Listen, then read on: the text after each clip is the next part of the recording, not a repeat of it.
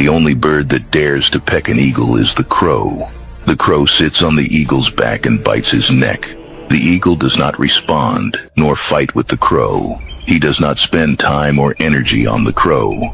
Instead, he just opens his wings and begins to rise higher in the heavens. The higher the flight, the harder it is for the crow to breathe, and eventually the crow falls off due to a lack of oxygen. Learn from the eagle and don't fight the crows. Just keep ascending. They might be along for the ride, but they'll soon fall off. Do not allow yourself to succumb to the distractions.